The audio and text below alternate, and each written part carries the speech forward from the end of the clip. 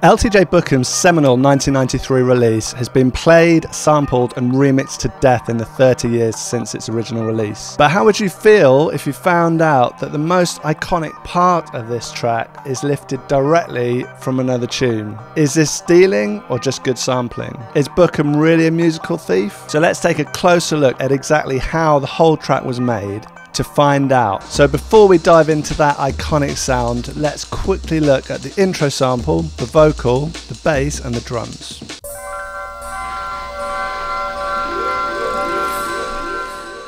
So the track starts with this lovely sample, which I managed to find but I still don't know what it is. As I was digging, I came across this free sample pack from some of my favourite drum and bass producers of all time, Blu Mar Ten. It's a treasure trove of samples used in classic drum and bass tracks. And as they say, these are all samples from commercially released tracks. Use them in your productions at your own risk. So that's why, even if I did know, I wouldn't tell you where it was from. It's like the producer's code.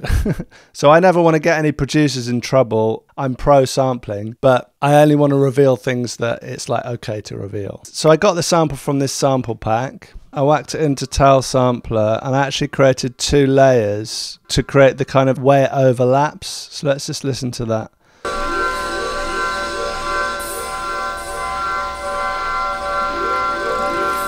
As far as effects go, just a bit of delay. It's kind of like a quarter note, I suppose. Next up, we have the vocal.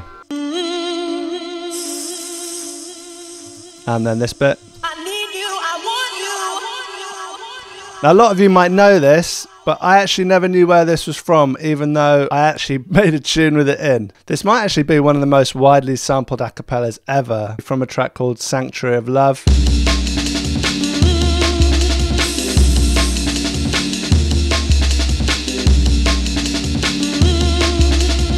So, what do NWA, The Prodigy, and countless drum and bass classics have in common? of course, it's the Amen break.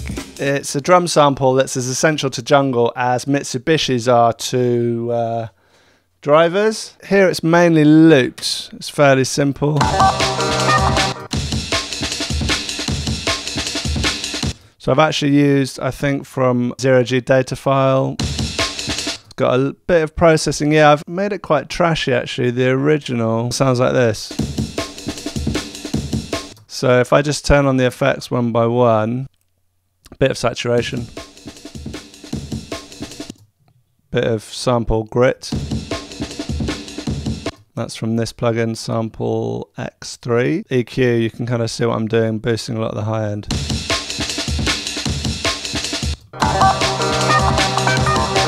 And if I just play the original for a sec, it's pretty close, I'd say. That's pretty much it. There's no real layering of like the kicks and the snares or anything as far as I can tell, but there are some little fills. Here's an example of one of them.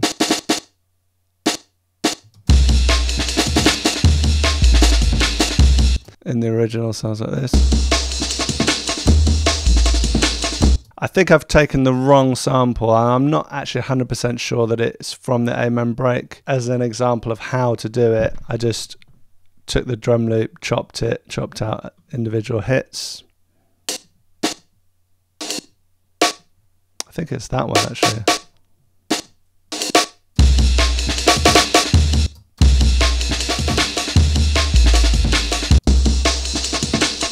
A little bit different pitch,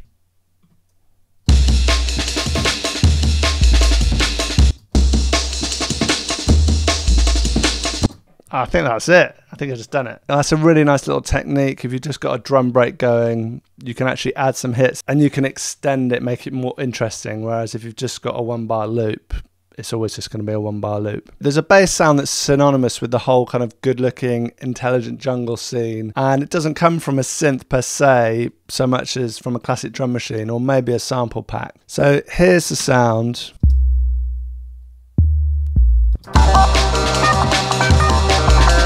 And of course, it's an 808 kick. Yeah, not too much to say about that. I just used the one I had. And this is actually from Ableton itself, from the core library. Kick sub 808 long C1.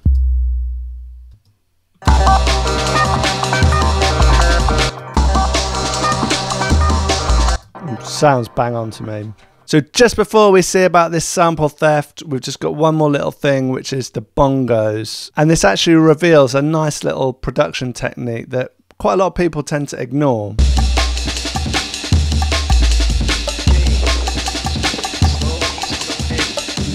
This is the sample from The Abyss. It seems to me quite clear that they've been played in. It's quite often tempting, you know, we just put in notes with the mouse and there's something not very musical about it. Of course, I do it sometimes, but sometimes it's really nice to actually just play things in. So this was actually quite tricky to do. So the way I did it, and another nice little technique, is I just slowed it down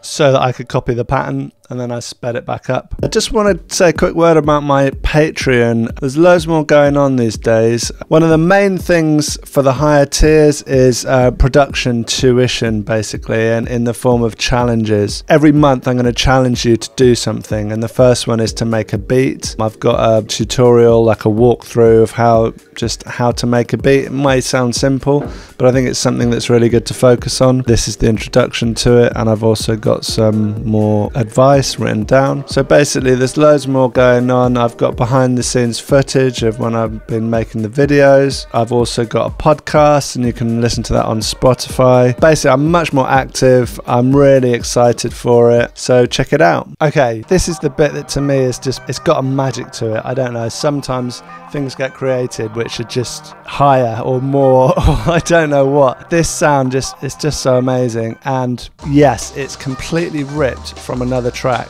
The track's called Surkit and it's by Reel by Real, which is an alias of Martin Bonds, who's actually a classic Detroit techno guy. The original track, we put it back down to 126. And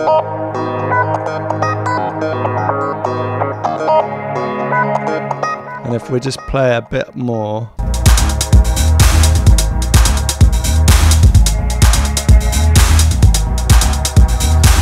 So there are two big questions for me. One, is this okay? Is this stealing or is this just normal sampling? And two, if Bukem just got it from a sample, how was it made originally? So let's look at the first point. For me, this is really complicated. Do I think that Martin Bonds should have some recognition and maybe financial reward for basically creating the foundation of this track?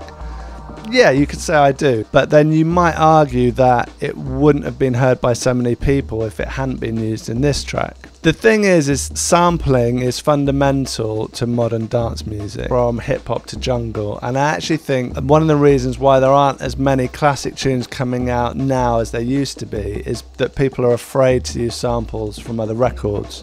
So this is maybe a bit controversial. A lot of people you go onto a forum and talk about ask about sampling and people are like it's stealing it's evil just do your own music but I don't agree with this at all. I think sampling is a creative art, and I think there's a lot of music that demonstrates that. Of course, if you just take a famous disco tune and put a 4 4 kick behind it, yeah, I don't consider that to be particularly creative. But even the recontextualizing of something, like even the example here of taking a part of a track with two sounds and then going somewhere else with it. To me, it's valid. Like, I love this track. I actually don't particularly love the original. It doesn't do it for me. Like, no disrespect at all. But I love this one. So, is it right? Is it wrong?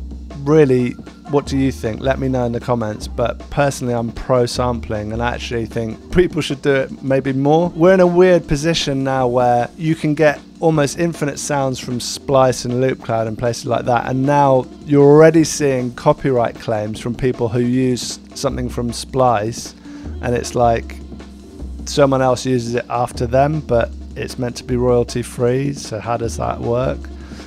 Also people don't get money from tunes anymore. You know you get a tiny bit from streaming but basically there's not the money that there used to be which is what made the lawyers get involved when sampling blew up.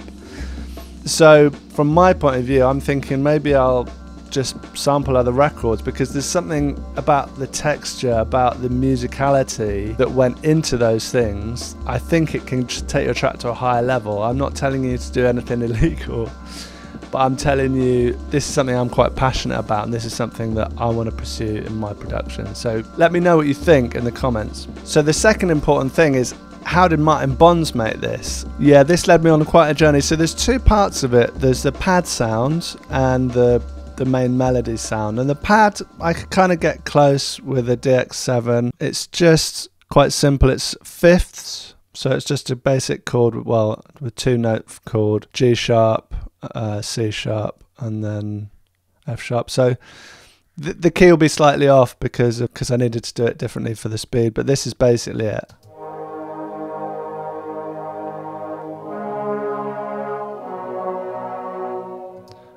So I could get that without too much difficulty, but the other sound I tried really hard. This is kind of an attempt.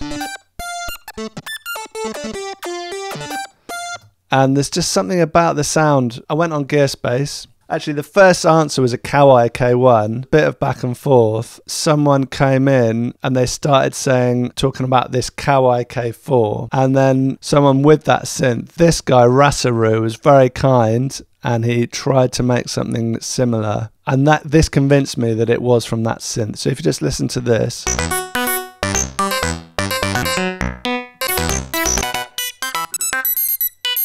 So obviously it's not that close to the actual thing, but if we listen to the original. I think it's definitely from that synth, and so now I want a Kawai K4, so you can donate to my GoFundMe to help me buy one. Joke. So there are a few little bits and bobs that I didn't get, and I forgot to mention the pad, which is just a fairly simple melody, and I just used a sample for that.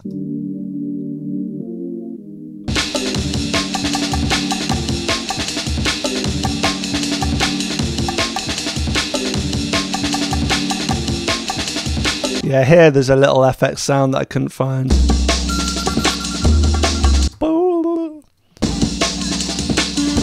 And that got ahead, got ahead, couldn't find that. You can hear that little fill. It's fairly simple tune, really. Fairly simple bass. I think the bass does change up actually a little bit. And then it changes to this. And then here, slightly different again. Because the pad changes up there. And then it just drops back into this Surkit sample.